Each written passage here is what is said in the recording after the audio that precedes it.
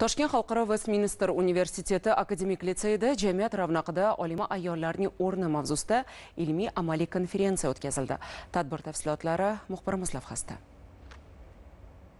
bugungi kunda xotin qizlarning huquq va manfaatlarini himoya qilish ijtimoiy siyosiy faolligini oshirish ularda tadbirkorlik ko'nikmalarini shakllantirish bo'yicha keng ko'lamli ishlar amalga oshirilmoqda. O'sib kelayotgan yosh avlodni ayniqsa qizlarni katta hayot yo'liga tayyorlash kasbiy ko'nikmalarini shakllantirish ularning turli soha va tarmoqlarda o'z qobiliyat imkoniyatlarini ro'yobga chiqarish uchun shart sharoit yaratish to'g'ri maslahat hamda yo'l yo'riqlar ko'rsatish dolzarb masalalardandir. Shu munosabat bilan xalqaro vestminster akademik litseyi o'quvchi qizlari va jamiyatimizda o'z o'rni hamda rolini topgan ayollar bilan uchrashuv tashkil etildi.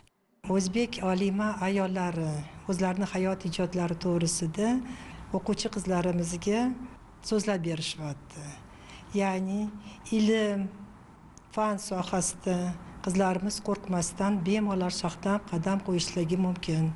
Ham oilani ham ilm sohasidagi ilmni bemalol rivojlantirish mumkin ekanligini e, o'zlarini hayotlari ijodini gapirayotganda so'zlab yetib ketishyapti bugungi tadbirimizni asosiy maqsad e, qizlarimizni kelajakda o'z tanlagan kasblari bo'yicha yetuk mutaxassis bo'lish. Shuning uchun biz o'zbekistonimizda umuman e, davlatimizda e, ko'zga ko'ringan olimalarni chaqirdik. Ular o'zlarini o'sha hayot yo'llari bilan tanlagan sohalarda qanday ishlarni amalga oshirishyapti ularni qizlar bilan o'rtoqlashishdi.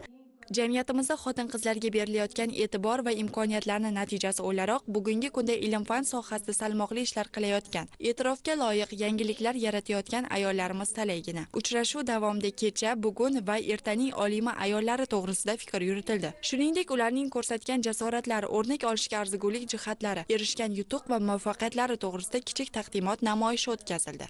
Yig'ilish ochiq muloqot tarzida o'tkazilib yakunda o'quvchi qizlar o'zlarini qiziqtirgan savollarga javob oldi.